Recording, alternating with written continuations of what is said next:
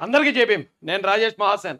Welcome to Mahasen media మా cyber tower అక్క మొక్క మా రజనీ అక్క ఏం చెప్తుందో జాగ్రత్తగా వినండి. రజనీ అక్క అంటే పైనుంచి ఆర్డర్స్ అమ్మ నువ్వు మహిళ కాబట్టి నువ్వు కన్నీళ్ళు పెట్టుకో. కన్నీళ్ళు పెట్టుకుంటే మన సాక్షి వాళ్ళు అలా జూమ్ చేస్తారు. కన్నీళ్ళు పెట్టుకున్న తర్వాత ఇది బీసీ మహిళ మీద జరిగిన దాడి అన్నట్టు నువ్వు బీసీలందరినీ రెచ్చగొట్టు. రెచ్చగొడితే బీసీలు అందరూ ఇంకా అమాయకులుగా ఉన్నారు. వాళ్ళందరూ మళ్ళీ మనకు ఓటేసేస్తారు. అని భ్రమలో ఉన్నారండి.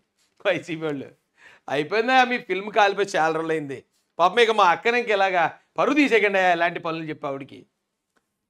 లేకపోయి ఉంటే పూర్తి అద్దాలు కూడా ధ్వంసమయ్యేటువంటి పరిస్థితి.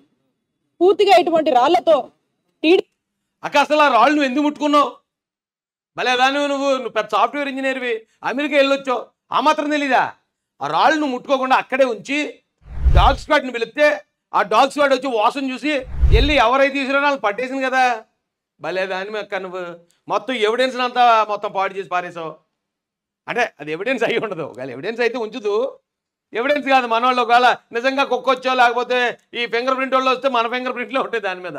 ఎందుకంటే వాళ్ళు హెసరు లేదు కాబట్టి okay got your point TDP గూండాలు ఏ విధంగా కూడా ఈ దాడికి తెరతీశారో మీరందరూ కూడా చూడొచ్చు. ఇది ఖచ్చితంగా ప్రీ ప్లాన్డ్గా జరిగినటువంటి దాడి. దీని వెనకాల ఎవరున్నా కూడా ఏదైతే ఆఫీస్ ఉందో ఆఫీస్ మీద అంటే రెండు రాళ్ళు పడ్డాయటండి. అది ప్రీ ప్లాన్డ్గా పాతిక సంవత్సరాల నుంచి చేస్తున్న ప్లాన్ అట అది. ఏమంటే రేపు పొద్దున్న తెల్లారితే జనవరి ఫస్ట్ అనగా వస్తారు కదా కేక్ కట్ చేయడానికి. కుర్రోళ్ళు హడావుడి చేస్తారు కదా. ఆ మాత్రానికి మన ఆ పార్టీ ఆఫీస్ ముందు వీళ్ళు ఎడావుడి చేసుకున్నారు కాబట్టి మన రాళ్ళు ఎచ్చి కొట్టేశారు లేకపోతే మన అద్దాలు పగలు కొట్టేసి బీసీలకి తెలుగుదేశం పార్టీకి బీసీలకి జనసేన పార్టీ గొడవగా మలిచేద్దాం అనుకుంటే జరిగే పని అక్క. వాళ్ళే చెప్తారు తెంగురోళ్ళు పాపం. ఇంకా లైఫ్ లైన్లన్నీ వాడేశాడు జగన్ అన్న.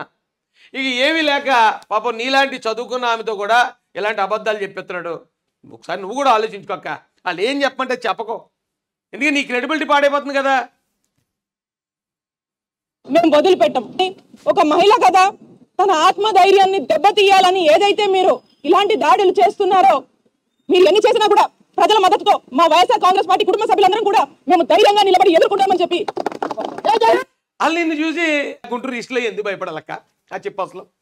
నువ్వేమైనా గుంటూరు ఈస్ట్లో ఎమ్మెల్యేగా పనిచేసి అక్కడ ఏమైనా జనాలకి ఏమైనా మేలు చేసావా? లేదా గుంటూరు ఈస్ట్లో నువ్వు మినిస్టర్గా పనిచేసి అక్కడ ఉన్న జనాలకి ఆ నియోజకవర్గ జనాలకి ఏమైనా నువ్వు మంచి చేసావా? ఎందుకు నిన్ను చూసి భయపడతారు అసలు ఎవరన్నా? నువ్వు రావడం హ్యాపీ వాళ్ళకి. అక్కడ టీడీపీ జనసేన కార్యకర్తలు నువ్వు వచ్చిన తర్వాత కొంచెం ప్రశాంతంగా పడుకున్నారట. అమ్మయ్య గొడవ లేదురా బాబు. మన సీటు మందే నెగ్గేహం అని. అలాంటిది నీ మీద దాళ్ళు ఎందుకు చేస్తారక్క? కాస్త చెప్పామంటే కొంచెం రీజన్ ఉండాలి కదా.